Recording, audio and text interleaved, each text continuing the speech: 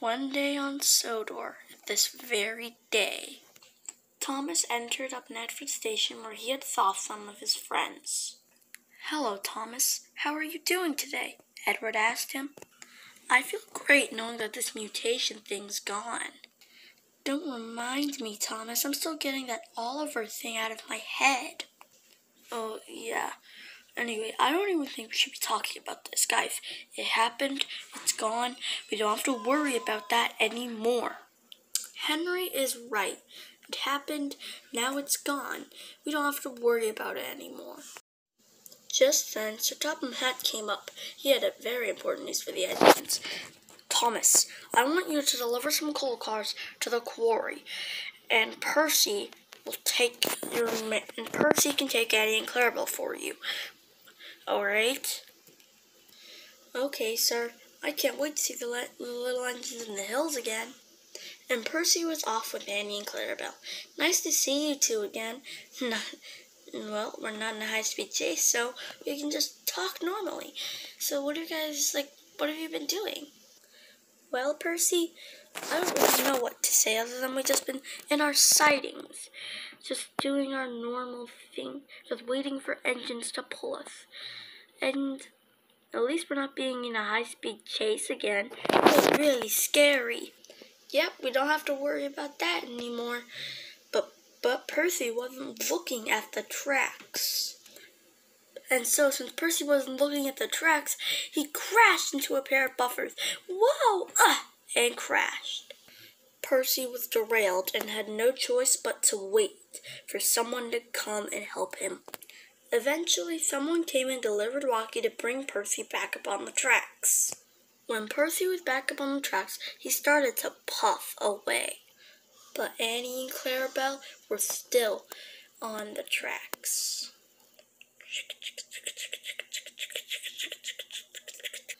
Mmm. it's really nice to be back on Sodor.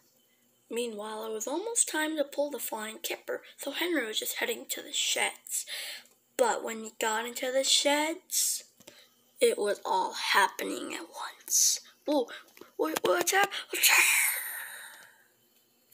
A signalman noticed this, and then he quickly pressed an emergency button to warn every engine what's happening. Every engine heard the siren. Whoa, whoa, what's happening? Thomas Thomas quickly yelled. Henry looks like a monster. Thomas heard this. Oh no, I gotta get out of here as fast as I can. I don't want to get mutated again. Wait, Thomas, wait for me. Oh no, something terrible's happening. I gotta make sure everyone is safe. And so she puffed on. So she puffed on.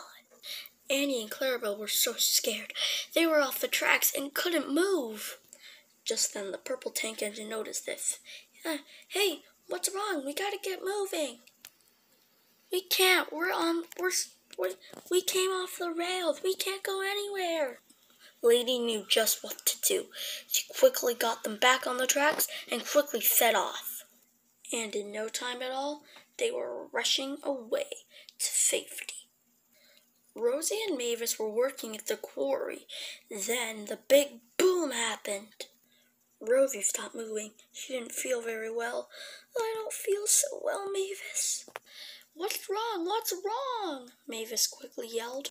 Just then, Rosie's paint started to turn red, and it got darker and darker. Ah, I'm gonna blow! and Rosie exploded from the blast.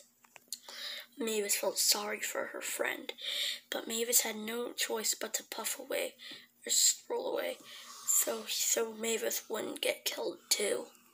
Meanwhile, Thomas and Edward were racing faster and faster. They tried to they wanted to escape this. I really don't want to get infected again. It was really awful being a horrible monster. I know, Thomas. I hear ya. I felt bad just seeing you as a monster. Meanwhile, Percy was racing down the line and bumped into Thomas. Thomas, oh my god, thank goodness, you're okay. Uh, we gotta get out of here fast. I know, Percy. I know. If we stick together, we should be safe. Edward, Percy, we have to get going and make it to the mainland so we will all be safe. Right, the three engines said as I kept going. I'm not getting this infection thing. If it's the last thing I do, I'm gonna try to stay safe. Little did the red engine know that he was just in the race of his life. James noticed Henry, but that but he didn't let that bother him. He kept racing down the line as fast as the wheels could carry him. And Henry was just catching up to the to the red engine. But then the good news happened for James. Gordon rushed by him. Gordon, we gotta go back. Henry's a monster. You're headed right towards him. Oh, I don't want any excuses, James. You're just showing off. But soon Gordon found it out. Whoa! And Henry started to rip off Gordon's eyes. It was a terrible sight for the blue engine. Huh, some engines never listen these days. Meanwhile, Lady was just pulling Annie and Clarabelle when she noticed two cars who needed some help. Quickly, someone please help us! Please, it will really mean a lot. Don't worry, I'll save you and get everyone out of here. I'm trying to, I'm gonna make sure everyone is safe. Thank you, he said. Oh my god, yes, thank you. No one would normally help me.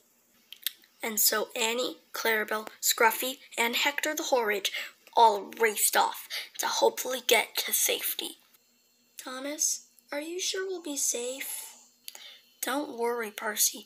I'll try to make sure that me, you, and Edward are all safe. Isn't that right, Edward? Of course it is, Thomas. And I will make sure that you two are safe. I survived this once, but you two didn't. So I'm to make sure we all get through this together. See, Percy? We will all be safe and just fine. Um, okay, Thomas. But Percy still had his doubts. Luckily, the three engines was able to find something to hide in and keep shelter from all the mutants or monsters. I think this should be a good spot to keep us safe for a bit. It's still a little bit rusty, but it'll have to do to keep us safe for now. Percy was still unsure, but if Thomas and Edward were fine with this, he was too. And so the three engines stayed there and, and to hide to hide from all the mutant monsters.